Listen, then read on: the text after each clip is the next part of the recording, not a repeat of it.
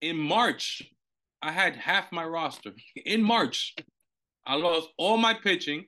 I lost Shep. I lost Powers.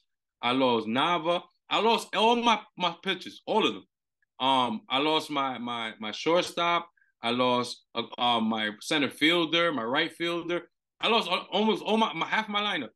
I didn't make excuses. It is what it is. I started recruiting my ass off. Boom, boom, boom, boom, boom, boom. Then we we we got into some injuries. Our ace Luke had to move to another um to another state for work. So the Cy Young, he won Cy Young. Fucking I got hurt. Romo got hurt. A few guys got hurt. No excuses. That's baseball. Now, this is the caveat.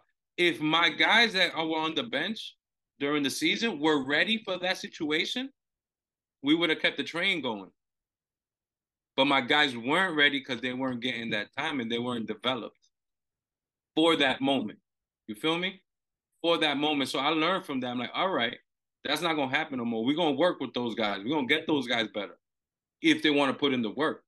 You know what I'm saying? If they don't, that's cool. I'll find some other guys that want to put in the work and they will put in the work and we'll see what happens. But that's that's what I learned from all that. I'm like, all right, all this happened. We should have had these players develop. You know what I'm saying? I, that's the most thing I learned from this year because you I learned more from my failures than my successes because when you win it, you can't think, oh, pick and choose what you did right or wrong. You won. Fuck it. But when you lose and when you were supposed to win, then you start, okay, this happened, this happened. As a manager, where I failed is I didn't develop my bench.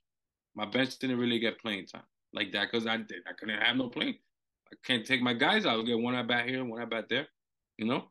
So I figure I'm, I'm figure out a way to develop players. That's all this is, is develop players so they can become better players and help other teams, and at the same time help the league out.